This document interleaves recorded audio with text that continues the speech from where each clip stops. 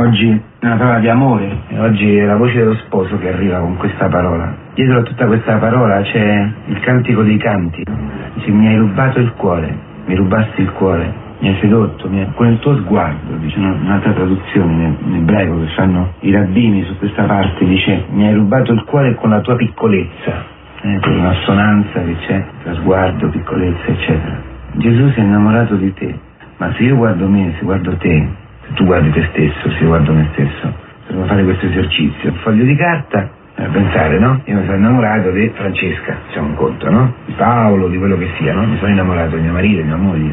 Mi sono innamorato perché? Per il naso, per gli occhi, per le mani, per... mi sono innamorato del carattere. Poi scrivere là che io mi sono innamorato della mia fidanzata perché così, così, così, così. Di mia moglie, di mio marito, per... Ah, dopo dici, proviamo a vedere quello che di me io posso scrivere perché Gesù si sia innamorato di me al punto di dare la vita per me. A parte tutte le ipocrisie che mettiamo davanti, qua parla di farisei e scrivi, gente che stava sempre con la Bibbia in mano e anche si impegnava molto nel rispettare i precetti. Ma noi sappiamo che Gesù guarda oltre, no? Qui esce una parolina molto interessante che è mormorazione. Sul foglio dovremmo scrivere mormorazione. Se quello che c'è nel mio cuore è la mormorazione. Sapete, la mormorazione è una cosa molto interessante. Sapete a che cosa c'è un salmo che dice, il salmo 120, dice, me disgraziato, dice che potrò darti, lingua ingannatrice, lingua che mi fa le trappole, lingua di menzogna, dice, che posso darti? Poi dice, Signore, liberami dalla lingua ingannatrice, che è come le frecce incendiate, acuminate, no? e poi dice, come carboni di ginepro. Avete, avete presente questo salmo? Dice, la lingua che mormora è come i carboni di ginepro. I carboni che fanno da, dal ginepro sono molto, molto particolari perché? Perché si raffreddano fuori, si raffreddano fuori, ma dentro rimangono caldi. Allora i rabbini dicono quella è la lingua doppia, vedete anche l'ipocrita, no? La mormorazione è così. Sembra che fuori già tu stai calmo, stai tranquillo, invece dentro arde costantemente. È una cosa che non si spegne mai, la mormorazione. Dice San Paolo nella lettera ai Corinzi, guardatevi dalla fornicazione, dal, dall'idolatria e mette la fornicazione e l'idolatria, la mette insieme alla mormorazione e dice perché chi ha mormorato nel tempo, il popolo che ha mormorato, è caduto, dice, in preda dell'angelo sterminatore. L'angelo sterminatore sarà la morte, no? Per un ebreo l'angelo sterminatore era una cosa molto molto speciale.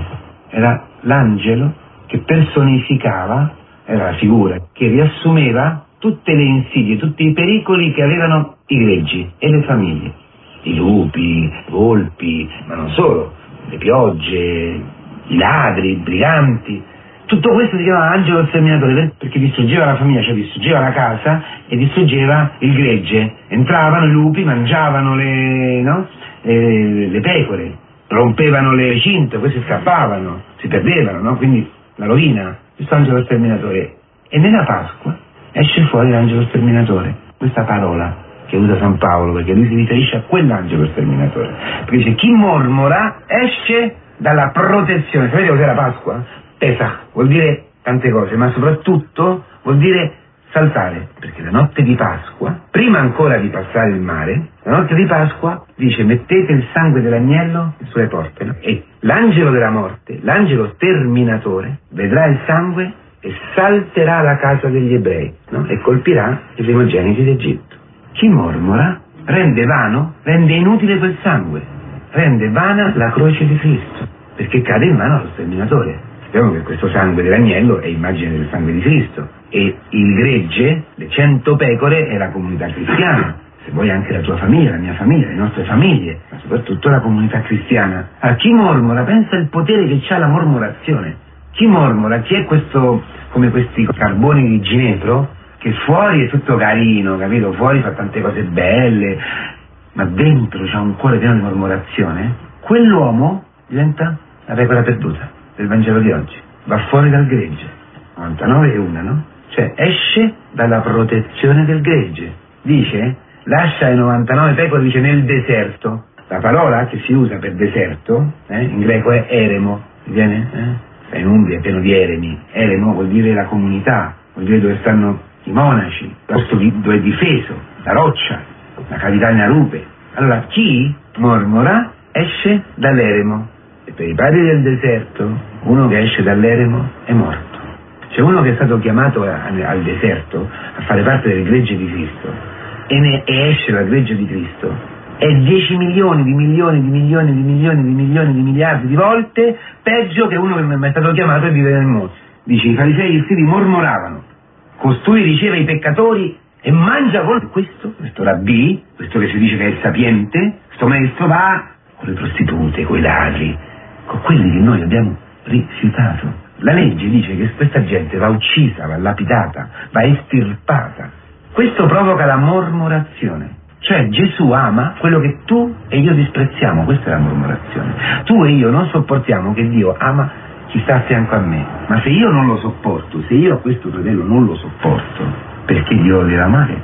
Se questo è un disgraziato, se questo mi ha tradito, se questo è un porco, se questo è un assassino, se... perché Dio lo, lo, gli, gli vuole bene? Perché Gesù non lo fulmina?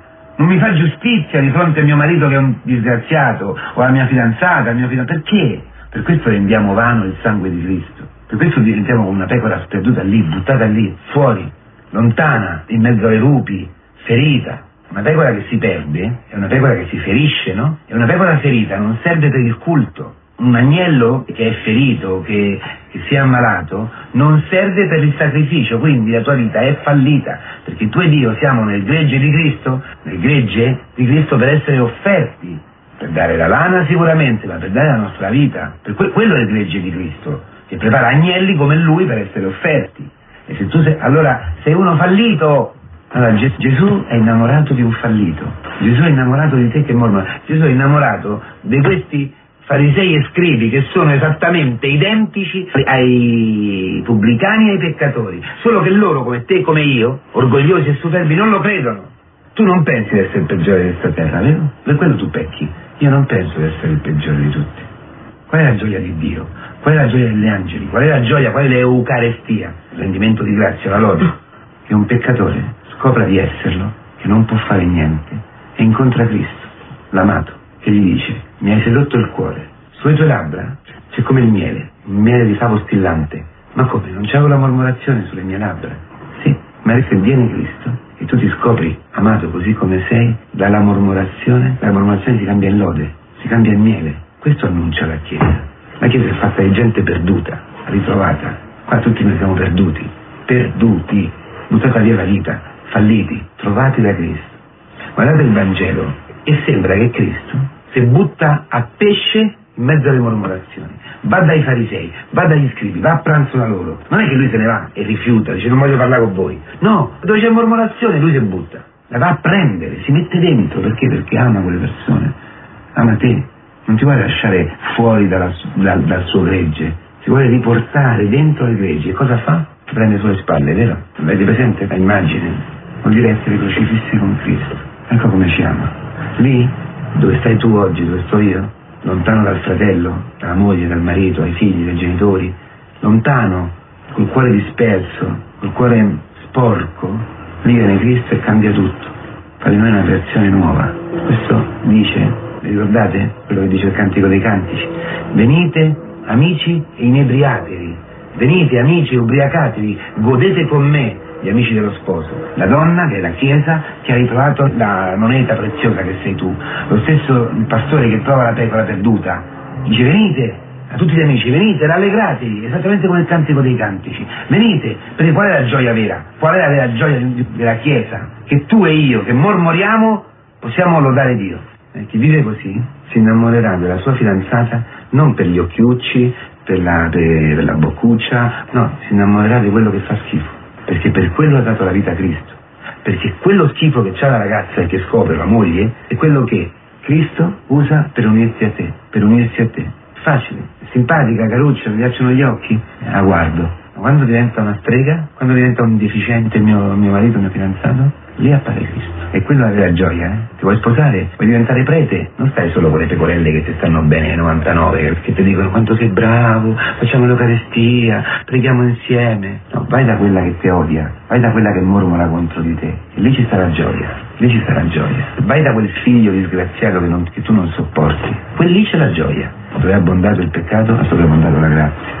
Eh, questa è la Chiesa, e per questo va fino agli estremi confini della terra a cercare i perduti.